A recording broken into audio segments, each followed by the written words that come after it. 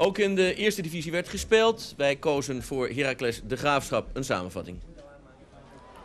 Wie behoudt de aansluiting op koploper Fortuna? was het centrale thema in de ontmoeting tussen Heracles en de Graafschap. De thuisploeg begon goed. Edwin Overmars, de man in vorm, opent de score na vijf minuten voetbal. Voetballen, daar denkt ook Heracles-doelman Jacco Beerthuizen aan. Die probeert hij slim te zijn, maar dat loopt helemaal verkeerd af. De bal komt terecht bij René van der Brink. En dat levert ook de gelijkmaker op. In Beerthuizen, ja. Keeper gaat hem beter af. Volkert Velten, die het moeilijk had tegen Erik Redeker. Maar hij zorgt ervoor dat de bal bij Marco Waslander komt. En Hendrik Kruse is attent meegelopen en zorgt voor 2-1. De Graafschap beschikt dit seizoen echter over veel veerkracht. Raymond Victoria's voorzet komt bij Frank Wijnhoven. En op slag van rust is het dan weer 2-2. In de tweede helft heeft Heracles het beter van het spel.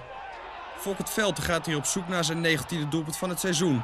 Van Kampenhout redt half. En daar is Edwin Overmars voor zijn tweede doelpunt van de wedstrijd. En heeft de Graafschap dan nog een antwoord? Victoria met een goede beweging. De voorzet op de geheel vrijstaande Verschijndel. En ja, 3-3. De Graafschap snoept Heracles een puntje af. Den Bosch tegen Os, tegen Top uit Os. Uh, goede overwinning voor de ploeg die dus zonder Danny Hesp verder gaat. Twee keer geel was er, dus rood voor John Laponde van Den Bosch.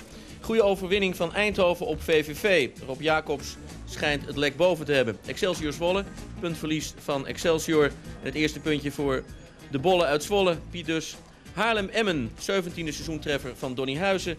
Goede overwinning van Fortuna op Helmond Sport. En we kijken naar RBC AZ met twee doelpunten van de ex-RBC-speler John Mutsaars. Veendam Cambuur, daar hebben we een doelpunt van en dat laten we u nu zien. Het is nu in de maak.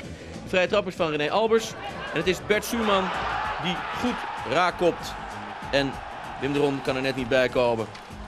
Goede overwinning dus van Veendam. En vandaag wordt nog gespeeld in Den Haag. Den Haag tegen Telstar.